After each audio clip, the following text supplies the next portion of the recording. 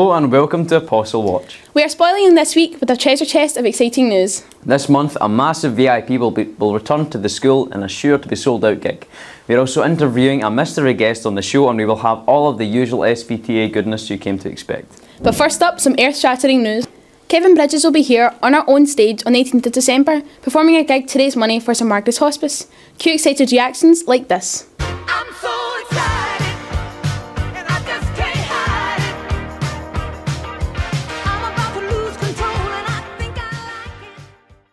Although that is not all, Callum. Why, what else is there? Well, Apostle on Air can bring you exclusive news about this event. What? Tell me. Tell me now, damn it, woman! Well, we have a limited supply of tickets for what is sure to be the gig of the year, and senior pupils will have the opportunity to win them. Woo! That's right, S5 and S6 pupils will be offered the chance to buy raffle tickets to win the opportunity to see Kevin. Details on how to purchase the raffle tickets will be issued at a special assembly soon. It's S5 and S6 only, folks. We are no strangers to celebrities here at Apostle on Air, and we recently caught up with a star of one of Scotland's most loved shows before he embarked on a record breaking run of shows at SSE Hydro. Let's check and see if he's still game. It's Sanjeev Kohli, otherwise known as Navid.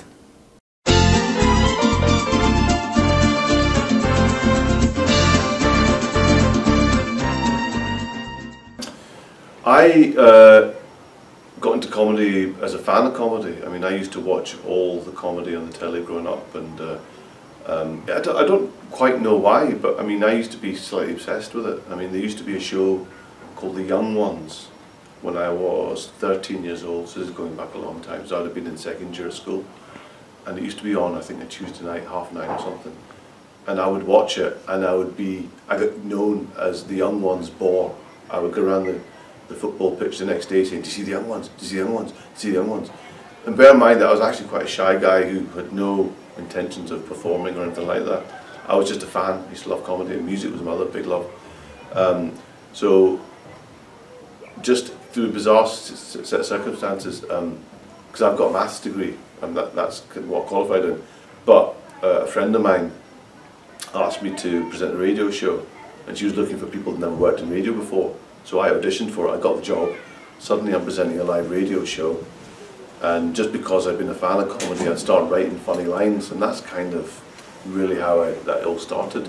It was all like, uh, after that I got asked to write for sketch shows and then uh, I did a sketch show where I was one of the characters, that was me acting for the first time. Uh, so I never had any formal training or anything. I just got asked to do things and thought, okay, give that a shot. Oh, I'm actually quite good at this. So, and that to this day is, uh, you know, um, uh, like for example, when I when on stage in the Hydro in a few months, that'll be the first time I've done stage work. So from nothing, from zero to Hydro, which will be the name of my autobiography. So uh, I, that'll be me learning something else. So because I've not done panto or theatre or anything. So um, when you see what inspired me to get into comedy, I never thought I'd get into comedy. It's been a lovely, beautiful, happy coincidence that what I loved growing up is what I'm doing now. And if you told me when I was 12 that I'd be even talking in front of all the kids at school today, I mean, I was so shy. I was so shy. I used to run upstairs when guests came to the house. Um, so if you'd have told me that I would be able to do something like that, I would have, I would have run upstairs and under the bed because I was shy.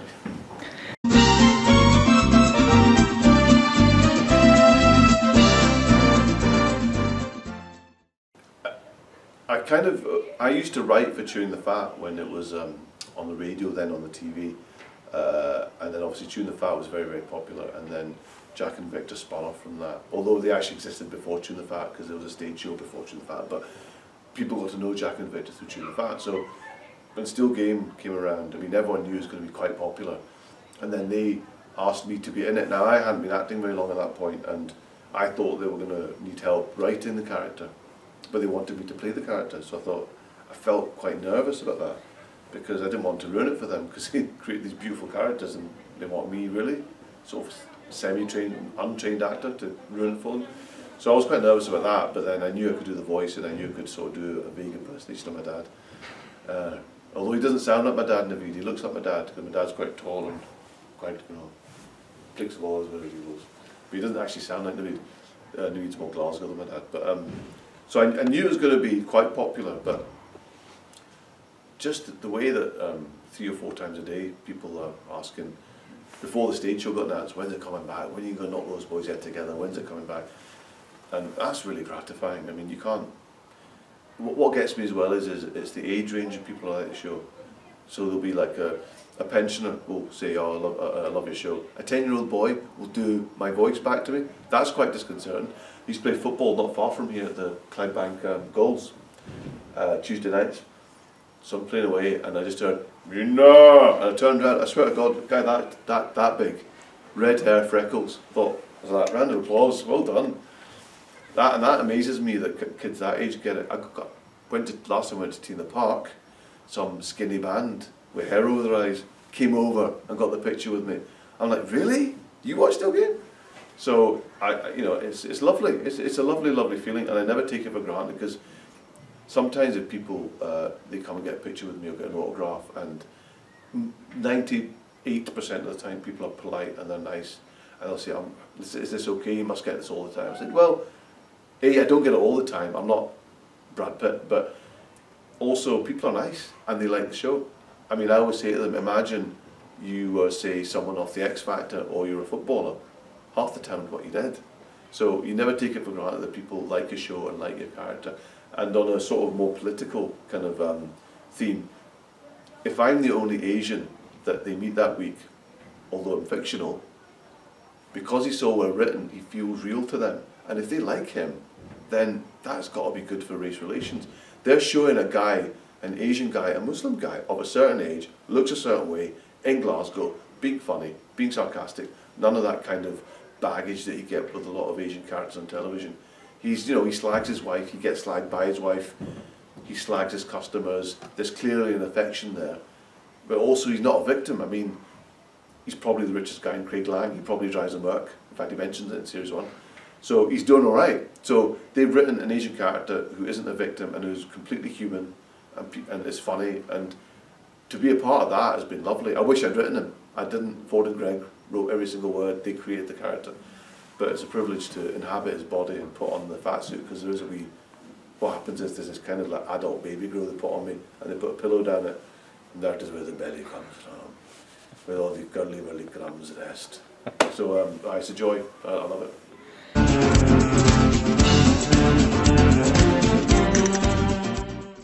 What I'd say is I'm 43 years old. When I was 10, 11, 12, even 17, 18, 19, we didn't have the internet. You have the internet. You have phones. You have cheap cameras. You can put something funny online in a, in a matter of minutes. We never had that. And if you're genuinely confident that you have what it takes, film stuff, put it online, and it will get found. It will get found. You probably think, "There's no way. There's so much stuff competing to be found." But do you know what? The good stuff does actually get found. Uh, I never had that growing up. I don't know if I would have done it, um, but even now, I should probably do more stuff online. Just you know, stuff that occurs to me. I know guys that they have so much confidence in their ideas that once they have the idea, they just film it, phone, they do it, put it online, and there's nothing to stop people doing that. I mean, uh, it's a much it's a much easier way of getting noticed. I mean, when I was sort of trying to get my name known in the business, it was much more difficult because, say for example, you had an idea for a sketch, well, you had to wait for a sketch show to roll around, then you had to try and get in touch with the producer, then you had to send a sample script, and then if you were lucky, he would commission you to write five minutes of sketches, and quite a long, long drawn out process. Whereas now, you could conceivably get your pals together and film a sketch, and um, any comedy producer um, worth his salt will be able to watch that and say, right, they did it on the cheap, and yes, they could have done it better, but they were restricted by whatever. But I can see that there's something here. So I would encourage anyone just to get up and do it. Don't wait for someone to, you know, to, to, to, to, to sort of ease your path. You have a path. It's the internet. Just use it.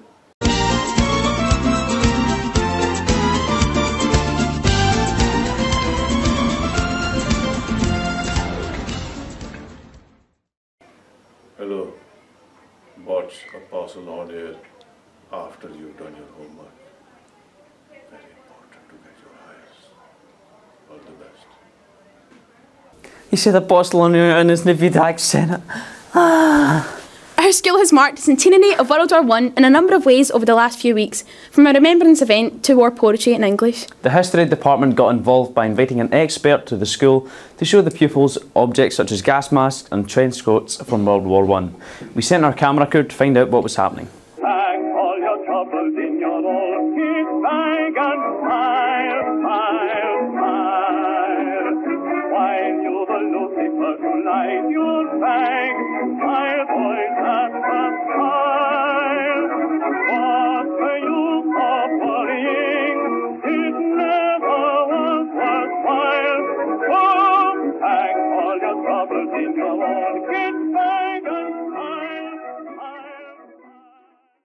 A room full of old relics there helmets, gas masks, coats, and Mr. Harkness. What more could you ask for?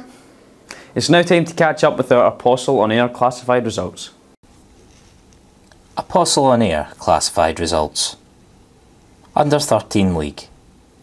Clydebank High School nil. St Peter the Apostle 3. Under 14 League. St Peter the Apostle 6. Clydebank High School nil. Under 15 League. St Peter the Apostle 2. Hermitage Academy 1. John Paul Academy 1. St Peter the Apostle 4. Hermitage Academy 1, St Peter the Apostle 3. Under 16 League result St Peter the Apostle 2, Clydebank High School 2, Bearsden Academy 2, St Peter the Apostle 1. Our genetically modified artists are busy with saving the world with our new drawings. Our art department is currently putting together a competition that requires pupils to draw and design their very own superheroes. That's right, each pupil has to have an original idea that can be built upon with drawings and a backstory. And the competition is deadly, but don't worry, there's a box of heroes to go around. For more information, visit the art department website, The Red Block, at www.theredblock.org. It's now time for Club of the Week. Club of the Week.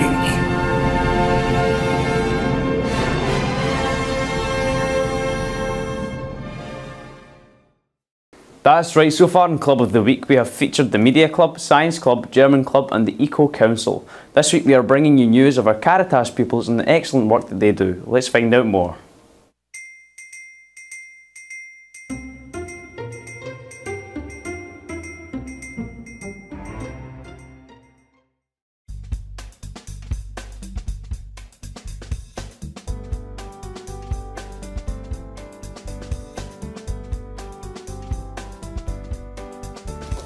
I'm Caitlin McCann. I'm part of the Caritas group in St Peter Apostles, and in the Caritas group we do lots of charity work, including working with homeless shelters, the St Margaret's Hospice Bus, soup kitchens, and Mary's Meals backpack backpacking.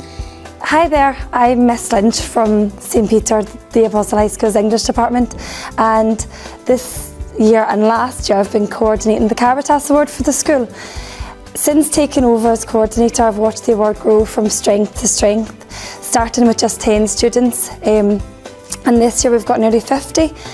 What the students need to do for Caritas is lots of, of work in the community. Caritas itself means love, so what the students need to do is show love to members of the school community um, over a period of 20 hours plus um, and 20 hours in the um, local communities. They also need to complete faith learning. Um, I've never really been interested in uh, charity work, which sounds selfish, but it never really interested me. But starting the Caritas Award, it's brought lots of opportunities and it's actually been quite fun. Uh, I got work experience in an elderly daycare centre, which was happened for four weeks. It was so interesting. I felt like I had loads of grannies and grandas. It was amazing. It was so funny. Um, they did lots of things like they had a pet therapy day and they all loved it. They all in the daycare centre they had dementia and stuff like that, so it was like quite eye opening and kind of scary as well. But it was good.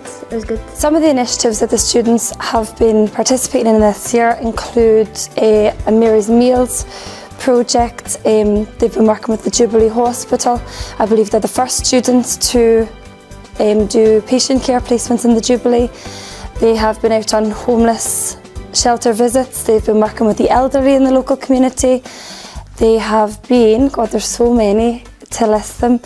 They've been working with um, Pro Life Initiative, St Margaret's Hospice Bus, um, the school buddy system. So no doubt you'll have seen them around or you will see them around at some point in the near future. Caritas has been such an eye-opening experience. Uh, it's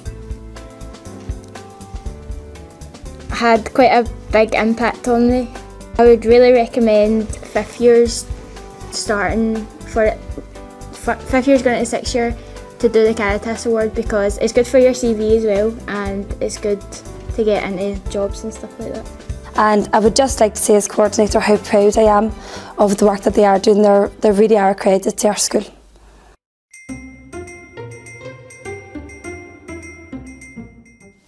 That's all we have time for this week.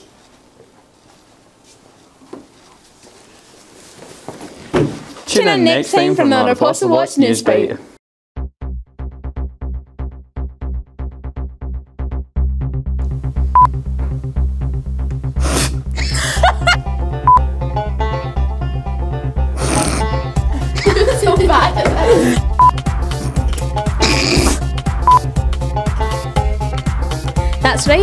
right, S5 and S6 pupils will be offered a chance to buy raffle tickets to win one of these gold discs. Bye,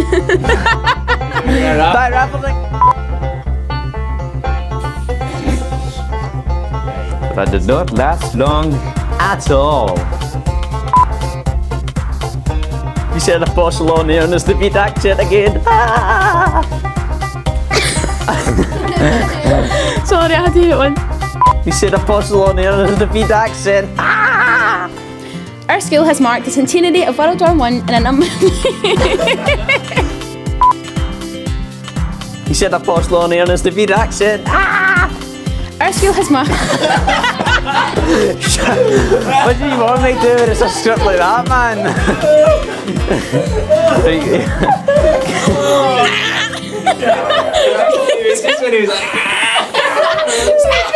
Somebody been home. It's now time for Club of the Week. That's right. So far in Club of the Week, we have featured the Media Club, Science Club, German Club, and Eco Council. This week we are bringing you news.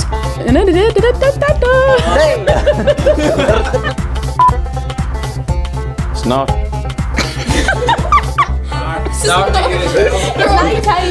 It's not time for Club of the Week. Let's. Do I swap? Club of the Week. Do I swap? That's all we have time for this week. Mate, you even oh. Dean, man. exactly. Oh, get to France. Oh, just beat it. Tune in next time for another Apostle Watch News Bite.